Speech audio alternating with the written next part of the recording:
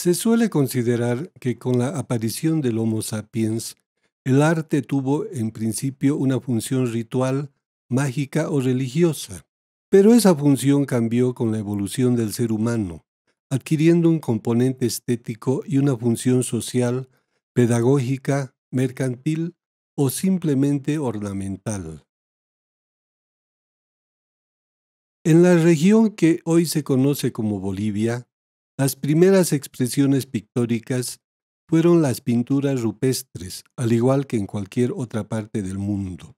Los sitios arqueológicos donde se encuentran dichas pinturas son las cuevas de Pintatani, Calacala, Betanzos, Carabuco y Mojocoya. Se trata de expresiones mágico-religiosas. Tanto los tihuanacotas, incas y otros pueblos expresaron sus inquietudes artísticas en los textiles y utensilios de cerámica. Encontramos en los diseños andinos motivos antropomorfos, zoomorfos y fitomorfos estilizados.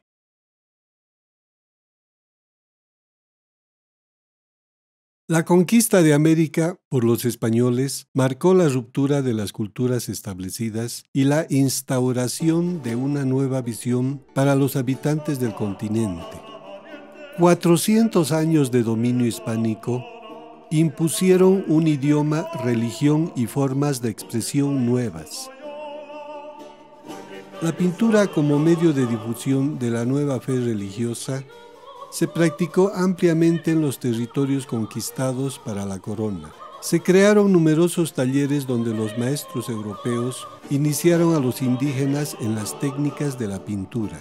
Entre los siglos XVI, XVII y XVIII se pintaron millares de cuadros para las iglesias que erigieron los españoles y que constituyen en la actualidad el patrimonio artístico virreinal. La producción pictórica correspondiente a este periodo es en gran parte obra de artistas anónimos que reflejan en sus creaciones las corrientes occidentales imperantes, el manierismo barroco y neoclásico. Hacia fines del siglo XVI aparece el manierismo en el virreinato del Perú con la llegada del jesuita Bernardo Vitte Vitti fue sin duda uno de los pintores más importantes que se establecieron en América. Lo mejor de su obra se encuentra en lo que fue la audiencia de Charcas. En Sucre existen varios lienzos que realizó para un retablo, destacándose la anunciación, la duración de los pastores y la imposición de la casulla a San Ildefonso. Numerosos fueron los indígenas que asimilaron las enseñanzas del maestro entre ellos Cusi Guamán y Gregorio Gamarra, siendo este último su seguidor más importante. Otros maestros del manierismo fueron Matías Anginés, Montúfar y Diego de Ocaña. De este último es célebre la imagen de la Virgen de Guadalupe en la Catedral de Sucre. El barroco se inicia hacia la tercera década del siglo XVII, cuando llegan a la audiencia de Charcas pinturas del maestro Francisco Pacheco y las de Zurbarán, que dejaron profunda huella en la escuela potosina. La mayoría de los pintores indios, mestizos y criollos realizan obras en que si bien están presentes la influencia manierista y barroca, empiezan a manifestarse características netamente americanas. Las iglesias de Jesús de Machaca, Carabuco, Caquiaviri y Tarabuco conservan importantes series de estos pintores anónimos. Petito es uno de los artistas criollos de la zona del Collao que alejándose de las influencias europeas, introduce en su pintura un estilo propio con características americanas. Uno de los pintores más interesantes del virreinato es el maestro de Calamarca, autor anónimo de la serie de Los Ángeles Militares y de las jerarquías angélicas, realizadas para la iglesia de Calamarca, cuya iconografía deriva de los tratados militares del siglo XVII, la serie de los arcángeles, conjuntamente con la de las vírgenes de Pumata, es clara muestra de un arte propio nacido de los artistas indígenas. El pintor barroco más importante es Melchor Pérez Holguín, nacido en Cochabamba y afincado en Potosí, donde realizó gran parte de su obra. La pintura de Holguín muestra una gran influencia surbaranesca, especialmente los santos ascetas y místicos que pinta en su primera época. Luego vendrán las series dedicadas a los evangelistas y las sagradas familias. Entre los discípulos más importantes del maestro se encuentran Gaspar Miguel de Berrío, Nicolás Ecos y Joaquín Caraval. Diego del Carpio es de los últimos pintores virreinales de que se tenga noticia. Le tocó vivir la guerra de la independencia. El advenimiento de la República marca el inicio de una nueva época para la pintura. Los movimientos plásticos que se desarrollaron en los cuatro siglos de dominio español se relegan y pierden dando paso a la corriente clasicista académica. Por entonces están aún activos maestros como Francisco Balcera y Diego del Carpio. El género más cultivado a lo largo del siglo, aparte del tema religioso, fue el retrato, tanto de los héroes como de los presidentes de la nueva república. Manuel Ugalde se destaca por la calidad de sus obras como el más importante maestro del género. Ecuatoriano de nacimiento, radica en Bolivia, donde realiza su obra más importante. Antonio Villavicencio, nacido en Chuquisaca, es otro de los retratistas importantes de la época. En su obra está presente la influencia de las escuelas francesas y españolas. Juan de la Cruz Tapia y Saturnino Porcel practican por igual el tema religioso e histórico, así como el retrato.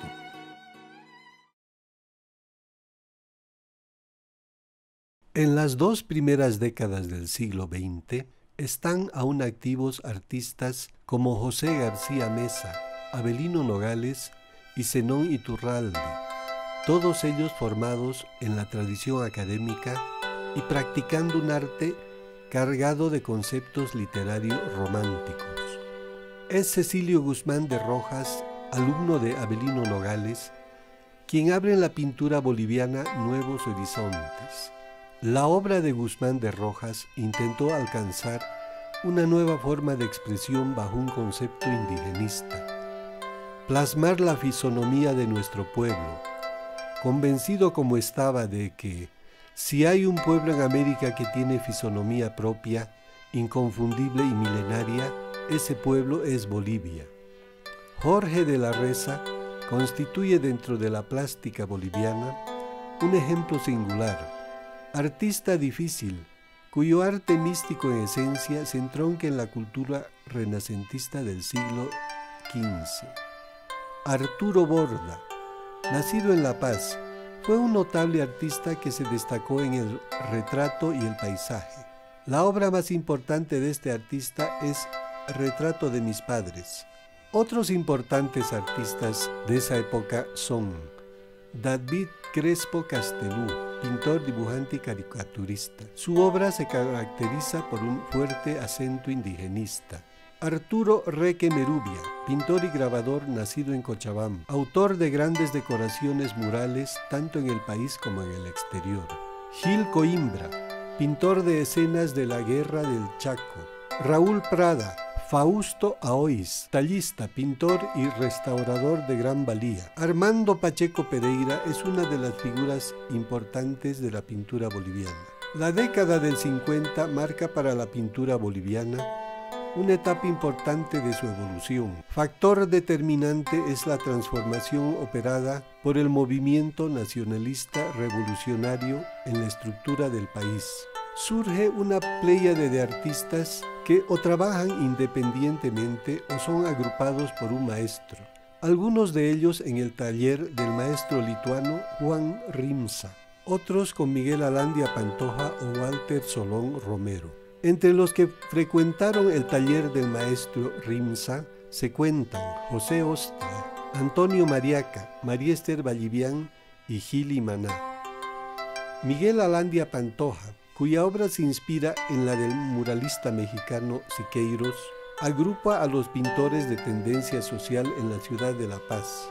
Muralista de vigor, ha realizado importantes obras en los centros mineros y en el Palacio de Gobierno así como en yacimientos petrolíferos bolivianos, el monumento a Gualberto Villarroel y otros. Walter Solón Romero, cuya obra está inspirada en la del muralista mexicano Diego Rivera. La tendencia abstracta aparece en el panorama de la pintura boliviana el año 1953, con la presentación de una exposición de conjunto en la que participaron María Luisa Pacheco, Mario Campuzano, Jorge Carrasco, Armando Pacheco y otros. María Luisa Pacheco ha logrado reconocimiento internacional por la calidad de su obra. Otros importantes seguidores de la tendencia abstracta son Alfredo da Silva y Alfredo La Placa. Existen, al margen de las dos tendencias señaladas, artistas que orientan su búsqueda hacia una expresión de contenido nacional, entre ellos Enrique Arnal, Moisés Chire Barrientos, Antonio Yanque, Fernando Montes, Manuel Iturri, Humberto Jaimes Zuna, Alberto Medina Mendieta y Agnes Frank.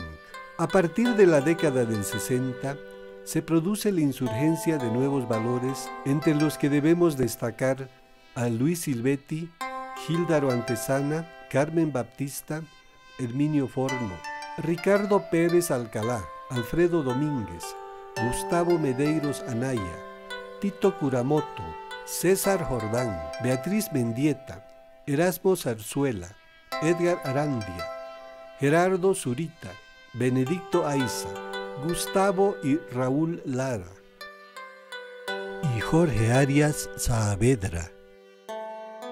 Un número importante de artistas se fue a vivir fuera del país, entre ellos y otros pintores ya mencionados, Graciela Rodo Boulanger, David Angles. Muchos de ellos han conquistado nombre internacional por la excelencia de su obra. La década de los 80, rica en acontecimientos políticos y sociales, lo es también en cuanto a la aparición de nuevos valores del panorama artístico del país. Max Aruquipa, Remy Daza, Roberto Valcárcel, Gastón Ugalde, Efraín Ortuño, Marta Cajías, Carmo, Mario Conde, Marcelo Suaznava, Javier Fernández, Silvia Peñalosa, Roxana Crespo, Rosario Ostria, Carmen Torres, Eiti Sti, Mauricio Bairo, Sol Mateo, Cecilia Wilde, Keiko González, Juan Carlos Achata, Patricia Mariaca, Ángeles Fabri, Guiomar Mesa, Mamani Mamani, Darío Antesana, Ruperto Salvatierra, María La Placa y otros. Entre los más importantes destacan Rosemary Mamani, Jaime Calizaya, Rina Mamani, Valia Carballo, José Vallivian, Carolina Lobo, Alejandra Dorado, Sandra de Verducci, Álvaro Ruilova, Alejandro Archondo, Magenta Murillo, Douglas Rodrigo Rada, Erika Ewen, Fabricio Lara, Fernando Montes Colque, Mirka Chuirco y Víctor Araníbar, entre otros. Eso fue todo. Si te gustó, aprieta muchas veces el like, que con eso nos ayudas a crear más contenidos como este. Comenta, comparte y suscríbete. Nos vemos. Chao.